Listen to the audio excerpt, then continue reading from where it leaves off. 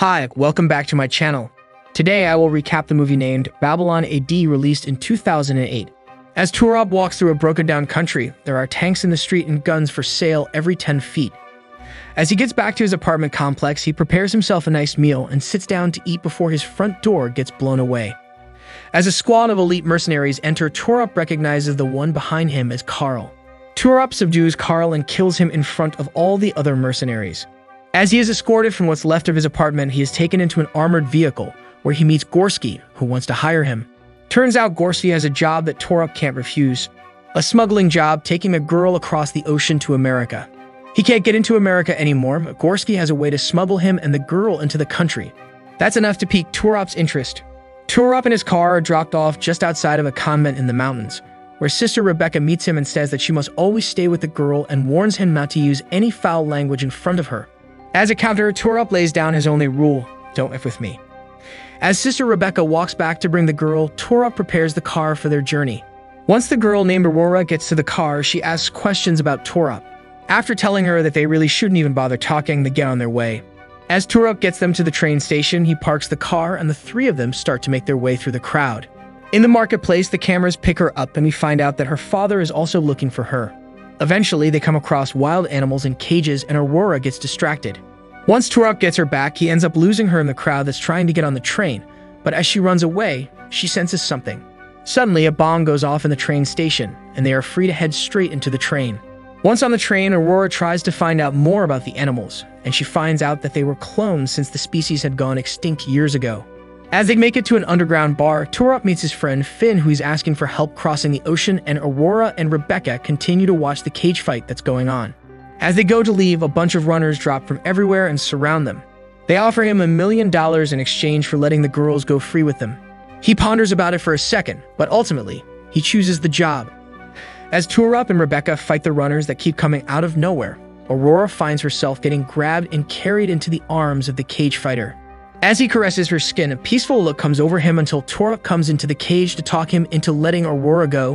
When the announcer locks him in and starts the clock, the fighter attacks Toorop. The men from before say that Aurora's father sent them to get her. As they run off with Aurora, Toorop and Rebecca chase after them. Toorop shoots one down and it is enough for Aurora to come over to him.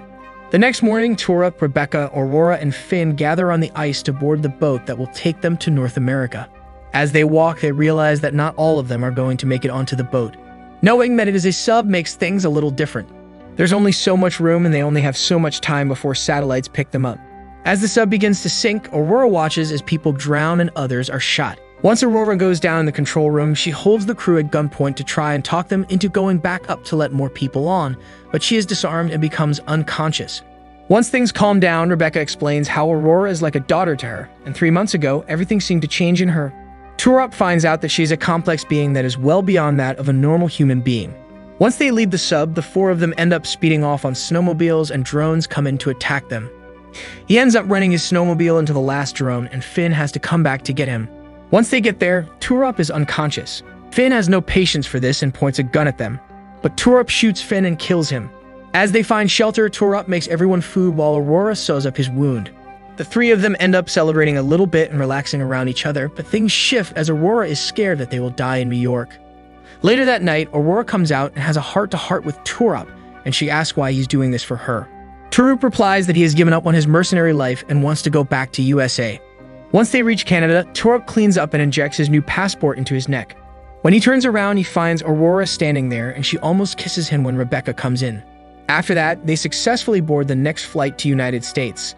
Once they reach New York City, they see a whole different world than what they knew before. When Aurora watches the news in the apartment, she sees a disturbing sight. A missile that's taken out a convent. It turns out that it was by a religious group that the High Priestess is in charge of. Toorop gets in touch with Gorsky, who explains that his job is almost done, and he just has to hand off the girl, but Toorop is having a change of heart a little bit. He's beginning to realize that they have no intention of letting him or Sister Rebecca walk away free from all of this. It was a suicide mission from the start, the doctor arrives at the apartment and Rebecca lets him in to examine Aurora. Toorop begins to suspect Rebecca knows more than she lets on, but she still refuses to share with him. Aurora reveals that she is pregnant with twins. Sister Rebecca doesn't even believe it because Aurora is still a virgin. Toorop is then contacted by the High Priestess who says to simply deliver her to the car downstairs, but Aurora says that she'll die if he does that. Being at a crossroads, Toorop plays along as slowly as possible while trying to figure out an alternative. Just as Aurora goes to get in, Toorop disarms the guard and starts a turf war in the middle of New York City. As they run for their lives, a missile is shot at them. It almost kills Toorop. As war breaks out in the streets, Aurora makes her way down the road, taking out anyone that gets in her way. Eventually, Sister Rebecca gets shot point blank and Toorop makes it to her. In her last words, she tells Toorop to protect Aurora. Another missile is shot at them, but Aurora fires a bullet into Toorop, making the missile miss him and become unconscious. At the religious order's headquarters, a high priestess finds out that Toorop's dead body was taken out of the city. When Toorop becomes conscious, he is at Aurora's father's facility. Aurora's father explains how she is from an AI supercomputer mother and how he had lost her as a baby when Gorsky stole her and hid her in the convent. Aurora's father believes that she is still alive and hid a message for Toorop to follow, but he has to be dead again to see it. Naturally, he lets them run a simulation in which he is killed in his memory. In the last seconds before he dies, he sees that Aurora tells him to go home. Aurora's father tells that the human race is weak and has not evolved, while Aurora is a superior, highly evolved race that cannot be killed by even a rocket, and her children will be even stronger. As they leave to find her, the High Priestess finds their hideout and asks Aurora's father where she is. As she stands face to face with her ex-husband, she takes a gun from one of the guards and shoots him herself. Toorop goes home to a cabin that his family once owned, and when he goes inside, he finds Aurora curled up in a corner. Toorop saves Aurora, and in the background, he explains to the viewers that Aurora was programmed as a breeding machine, and her only goal is to give birth. After that, she will die. In the hospital, Asad Toorop says his final goodbyes to Aurora as the children are born and the credits roll. Thank you for watching. Like, share, and subscribe to the channel for more.